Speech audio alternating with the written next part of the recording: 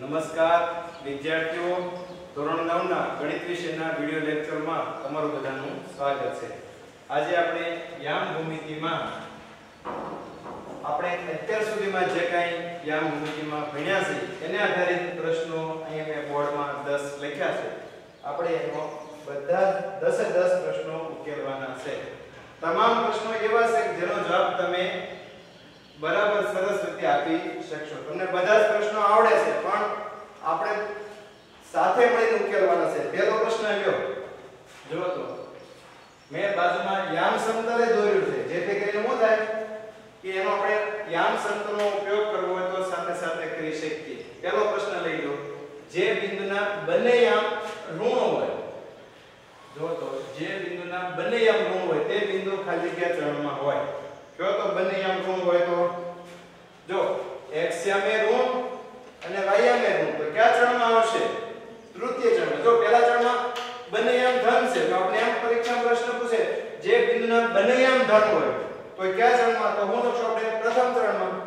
એમ આપણને પૂછે કે જે બિંદુનો x યામ ધન અને y યામ ઋણ સોરી x યામ ઋણ ને y આમ ધન, તો કયા ચરણમાં?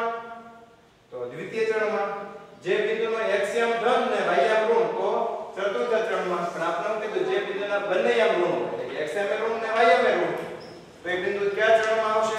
લખો. તો તમે તરત કે બિંદુ તૃતીય ચરણમાં. બરાબર છે? અથવા ત્રીજા ચરણમાં.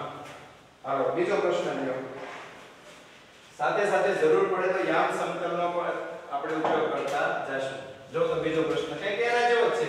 જે બિંદુનો x યામ ધન, તો x યામ ધન અહીંયા આવશે જો તો x યામ આ ધન યાદ આ એક્સિયમ ઋણ તો એક્સિયમ ધન અહીંયા.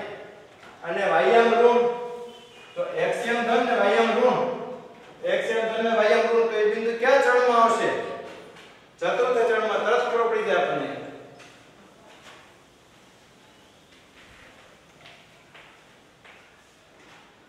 જો, જે બિંદુ ને યામ ધન અને વાયમ યામ ઋણ ધન હોય તો ચતુર્થ ચરણમાં પણ એમાં ઘણી ફેરફાર કરી નાખે. X યામ ઋણ ને y યામ ધન પરીક્ષામાં તમને એની જગ્યાએ ફેરફાર કરી નાખે જે બિંદુનો x યામ ઋણ અને y યામ ધન તો પછી કયા ચરણમાં આવે?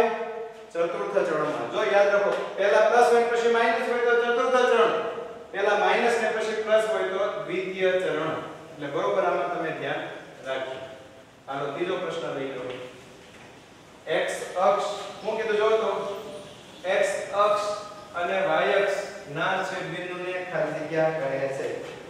જો તો આ x અક્ષ આડી રેખા અને y અક્ષ એટલે ઊભી રેખા અને છેદ બિંદુને શું કહેવાય આને? આપણને ખબર છે ઉગમ બિંદુ કહે છે. આપણે સરસ રીતે જાણી છીએ કે x અક્ષ ને y અક્ષ ના છેદ બિંદુને ઉગમ બિંદુ જોઈજો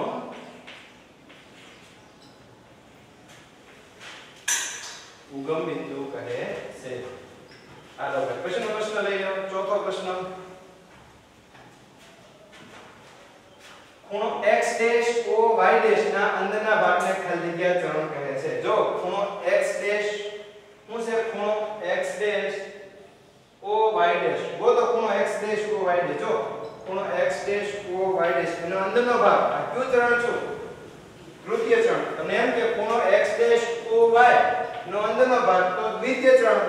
તમને એમ કે ખૂણો x ઓ y ડેશ અથવા ખૂણો y ડેશ o x નો અંદરનો ભાગ તો કયું ચરણ ચતુર્થ ચરણ તમને એમ કે ખૂણો y o x અથવા ખૂણો x o y નો અંદરનો ભાગ તો પ્રથમ ચરણ એટલે આવું પૂછે તો પહેલા ચેક કરી લો આ ખૂણો x dash o y dash ખૂણો x dash o y dash નો અંદરનો ભાગ કયું ચરણ આવશે તૃતીય ચરણ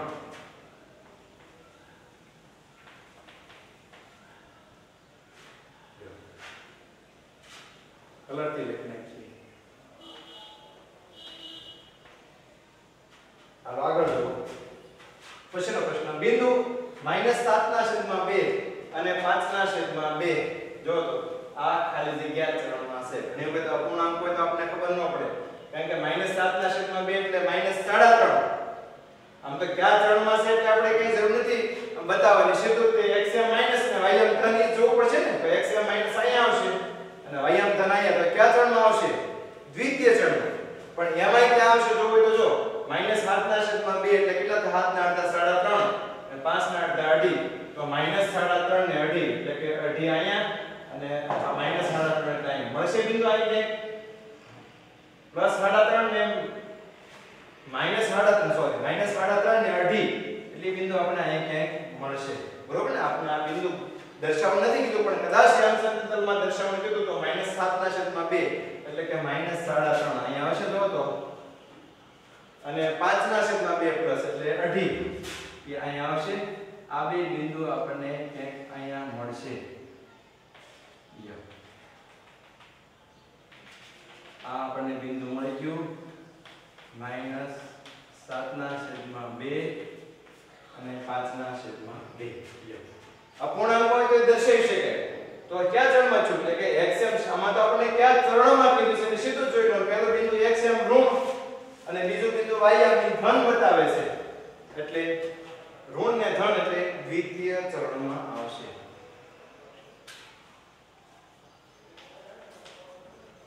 આ બિંદુ દ્વિતીય ચરણમાં. ધ્યાન પડે છે જો તો? આવો કોઈ પણ પ્રશ્ન હોય તો આપણે આવડવો જોઈએ. બરોબર ને? અપૂર્ણાંકમાં આપણે વખત તમને ઘણી બધા એમ કે માઇનસ 1000 ને માઇનસ 1050 પ્લસ માઇનસ 1000 ને પ્લસ 1050 કયા ચરણમાં તો એને કઈ ચરણમાં દર્શાવી ન શકે કારણ કે બહુ મોટું થઈ જાય તો હું કરશું? માઇનસ 1000 એટલે કે એક્સ એમ ઋણ અને પ્લસ એક હજાર પચાસ વાય એમ ધન એટલે કયું ચરણ થઈ ગયું સીધું? દ્વિતીય ચરણ. ઘણી વખત મોટી સંખ્યા તમને આપશે. તમારે એને કઈ આમ સંકલનમાં દર્શાવી જરૂર નથી. સીધું ચોપડી દેવી પહેલા અહીંયા માઇનસ બીજે અહીંયા પ્લસ એટલે દ્વિતીય ચરણમાં આવશે. હાલો, પછીનો પ્રશ્ન લઈ લો પાંચ પાંચ છઠ્ઠો. બિંદુ 0 અલ્પવિરામ માઇનસ 5 જો તો. બિંદુ 0 અલ્પવિરામ માઇનસ 5 ઈ ખાલી જગ્યા એક કિરણ ખાલી જગ્યા પર આવે છે. 0 અલ્પવિરામ માઇનસ 5 જો તો 0 અલ્પવિરામ માઇનસ 5 x એમ 0 છે, જોજો. y એમ 5 x એમ 0 એટલે અહીં આવશે. અને y એમ માઇનસ 5 એટલે અહીં 0 અલ્પવિરામ માઇનસ 5 જો આ બિંદુ થઈ ગયું 0 અલ્પવિરામ માઇનસ 5 આ બિંદુ ક્યાં કિરણ પર આવે છે, કયો? જો રેખા y ડેશ રેખા પર પણ કિરણ કે તો, કિરણ OY કે કિરણ OY ડેશ આ 0 5 કિરણ, કારણ કે કિરણ તો આ ઉગમ બિંદુથી શરૂ થાય. તમે ત્યાં તમને એમ કે આ બિંદુ ક્યાં કિરણ ઉપર આવ્યું છે, તો આમાં ચાર કિરણ છે, જોજો. એક કિરણ OY ડેશ ઉપલો કિરણ OY અહીંયા કિરણ OX ને આ બાજુ કિરણ OX ડેશ x અક્ષ ઉપર ધન બિંદુ ક્યાં કિરણ ઉપર એવું પરીક્ષણ તમને ઘણી x અક્ષ ઉપર ધન બિંદુ ક્યાં કિરણ ઉપર તો કે કિરણ OX પર. X અક્ષ પર ઋણ બિંદુ ક્યાં કિરણ ઉપર તો કે કિરણ OX ડેશ ઉપર. તમને પૂછે, y y અક્ષ ઉપર ધન બિંદુ ક્યાં કિરણ ઉપર તો કે કિરણ OY પર. Y અક્ષ ઉપર ઋણ બિંદુ ક્યાં કિરણ ઉપર તો કે કિરણ OY ડેશ ઉપર. આવા પણ પ્રશ્ન તમને પૂછાય. તો બરોબર તમે એમાં ખ્યાલ રાખજો. બરોબર છે? તો બિંદુ 0 ક્રમ -5 0 અક્રમ -5 આ બિંદુ ક્યાં કિરણ ઉપર તો કિરણ OY ડેશ પર જોઈએ કિરણ પર લખી લખી દીધું છે કિરણ લખવાની જરૂર નથી ખાલી OY ડેશ પર બરાબર ને કિરણ તો લખેલું છે હાલો પછી આગળનો પ્રશ્ન લઈ લો બિંદુ -12 15 નો xm ખાલી જગ્યા છે જો તો -12 15 એટલે કે xm -12 ym 15 xm -12 બિંદુ -12 15 x નો xm જો હવે આમાં એક્સએમ કેટલો? આપણે ખબર છે xm -12 આ xm ની જગ્યાએ ઘણી વખત બીજો પણ શબ્દ વાપરે હો. હું વાપરી શકે તમને ખબર છે? Xm ની જગ્યાએ બીજો પણ શબ્દ વાપરે. તમને એમ કે એનો કોટી કોણ? તો કે કોટી -12 બરોબર ને મેં તમને આજના, આગળના એક વિડિયો લેક્ચરમાં કીધું કે ભાઈ xm ને કોટી કહેવાય. અને ym ને શું કહેવાય? યાદ રહ્યું તમને? ભુજ. તો આમાં કોટી અને તમને એમ કે બિંદુ -12 15 નો કોટી કોણ? તો કે -12 આનો ભુજ કોણ? એટલે કે ym કોણ? તો કે 15 આપણે આમાં xm કીધું છે, એનો -12 15 નો તો -12 આનો ym કે, તો હું લખીએ આપણે? 15 તો યામ કીધા છે એટલે પણ જો બિંદુ કીધા હોય તો, આમાં x અક્ષ પર આવેલું બિંદુ કીધું હોય તો -12 0 y અક્ષ પર બિંદુ આવેલું કીધું બિંદુ કીધું હોય તો 0 15 અને ખાલી x એમ કીધું તો -12 અથવા તમને કોટી કે તો -12 આનો y એમ કહેતો 15 અને ભુજ કહેતો 15 હાલ. પછીનો આઠમો પ્રશ્ન બહુ સરસ મજાનો જોઈ ગયો.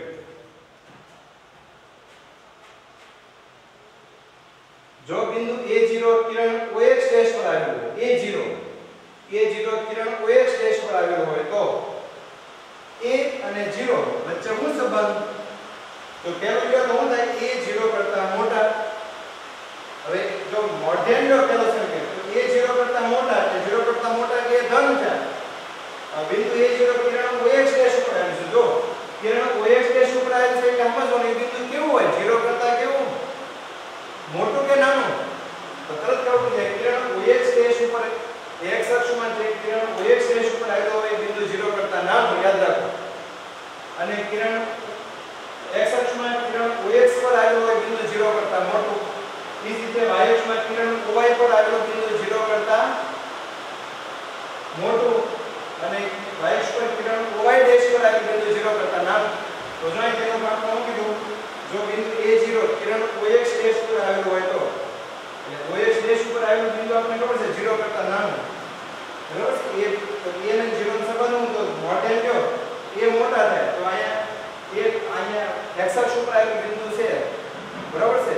કિરણ OX ડેશ પર આવેલું 0 કરતા મોટું ન થાય. લેસ ધેન લઈ તો શું થાય? 0 મોટા અને એ નાના. આવશે ને આમ તો? એ લેસ ધેન 0 કોઈ પણ બિંદુ કિરણ OX ડેશ ઉપર આવેલું હોય તો 0 કરતા નાનું. જો, એટલે કે 0 મોટા અને a નાનું. થાય આમ આ રીતે પ્રશ્ન હું ફેરી નાખું તમને એમ કહું કે જો બિંદુ a0 એક કિરણ OX પર આવેલું છે. આ બિંદુ કિરણ OX પર આવેલું હોય. તો શું થાય પાછું a મોર ધેન 0 તો એ બિંદુ 0 કરતા મોટું. પણ કિરણ OX ડેશ ઉપર આવેલું છે એટલે કે 0 કરતા નાનું, એટલે કે 0 મોટાની બિંદુ નાનું થશે કોઈ પણ. પછી અહીં માઇનસ તમે તાળો ભેળો મેળવી દો OX ડેશ ઉપર એટલે માઇનસ 1 છે માઇનસ 2 છે માઇનસ 3 માઇનસ 4 તો માઇનસ 1 તો થાય માઇનસ 1 0 તો માઇનસ 1 0 કરતા 0 મોટા. માઇનસ 2 0 લ્યો તો એની કરતા 0 મોટો થાય. માઇનસ 3 0 કરતા મોટા. એટલે કોઈ પણ બિંદુ એક કિરણ OX ડેશ પરનું બિંદુ લ્યો, તો એની કરતા 0 મોટા થાય. એ બિંદુ 0 કરતા નાનું હોય. હાલો, પછી પ્રશ્ન લઈ લો. નવમો કિરણ OY ડેશ. જોજો બરોબર, સમજવા જેવો પ્રશ્ન છે. કિરણ OY ડેશ. જો તો કિરણ OY ડેશ. ક્યાં છે કિરણ OY ડેશ? જો તો તો આ કિરણ OY ડેશ બરાબર છે અને કિરણ OX કિરણ OY ડેશ અને કિરણ OX આ બે જો કે કિરણ OY ડેશ એટલે આ કિરણ થશે અને કિરણ OX એટલે બરાબર છે? X અક્ષની ધન દિશામાં થી સીમિત પ્રદેશને ખાલી જગ્યા તરફ કહે છે થી સીમિત પ્રદેશ એટલે એનાથી બનતો પ્રદેશ. કિરણ OY ડેશ અને કિરણ OX થી સીમિત પ્રદેશ. સીમિત એટલે એટલા મર્યાદિત જ છે એનાથી વધારે કાંઈ નહીં. તો કે કિરણ OY ડેશ કિરણ OX થી સીમિત પ્રદેશ. એટલે પ્રદેશ એટલે ભાગ. થી બનતો પ્રદેશને ખાલી જગ્યા ચરણ કહેશે આ ક્યાં ત્રણથી બને. વિકિરણ OY ડેશ ને કિરણ OX થી બનેલા ભાગને આપણે ખબર છે. કયું ચરણ કહેશું ચતુર્થ